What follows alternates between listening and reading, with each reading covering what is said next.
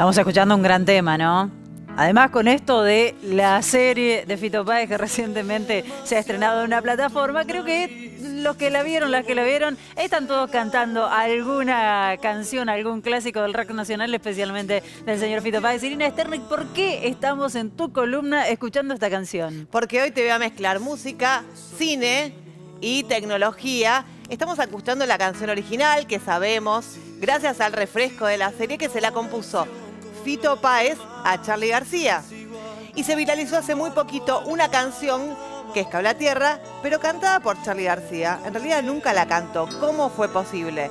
Gracias a un usuario de YouTube que hace tiempo viene experimentando con pistas de voces de Charlie García. Ah, es muy trabajoso lo que hace, no es que es un programa donde vos ponés, quiero escuchar la canción de Charlie, eh, cantada por Fito. No es tan fácil, no, es, que la pedís, la tenés, no es y así. se viralizó este video de supuestamente Charlie García de los 80 cantando Cable a Tierra. Vamos a escuchar esta versión que nunca existió. demasiado en tu nariz, si estás como cegado del poder. Charlie, si sabés que es inteligencia artificial, decís, bueno, es verdad, tiene un poco picheada la voz.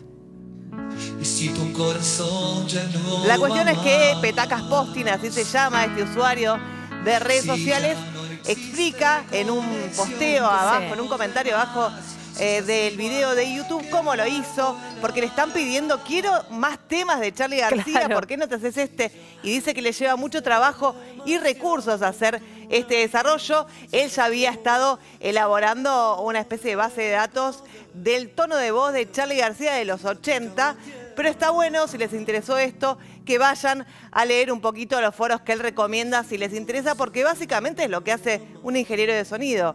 Trabaja con tecnología y música. En este caso, la inteligencia artificial no nos va a robar el trabajo, no les va a robar el trabajo a los músicos. no, podríamos reemplazar al gran Charlie García, por supuesto, ¿no? Está muy claro. Y hablando de la importancia de lo analógico, esta serie, El amor después del amor, tiene un montón de canciones representadas. ¿Quién las cantó? ¿Las cantó Charlie? ¿Las cantó el actor? No, las cantó una persona de carne y hueso. Es un uruguayo que hizo el doblaje de las canciones. Yo te juro que me comí que todas las canciones las había cantado Charlie. Y él en su Instagram, se llama Agustín Britos, mostró un poco las fotos del backstage. No sé si tenemos el video de la voz de Agustín emulando a Fito Páez. No Charlie. Agustín cantando a Fito. Ahí está.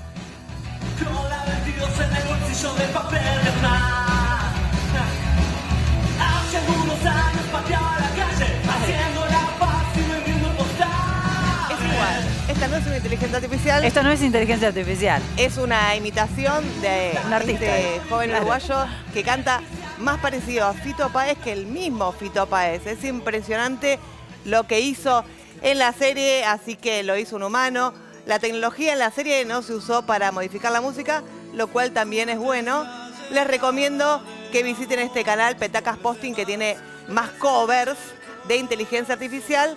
Y por otro lado, cambiando de tema, les digo dos cosas. Mañana es el Día Mundial de las Contraseñas, voy a estar ampliando mañana, pero queríamos avisarles de la televisión pública que le hackearon el teléfono a Mario Espósito, que es prensa de LACA, y están pidiendo plata en su nombre.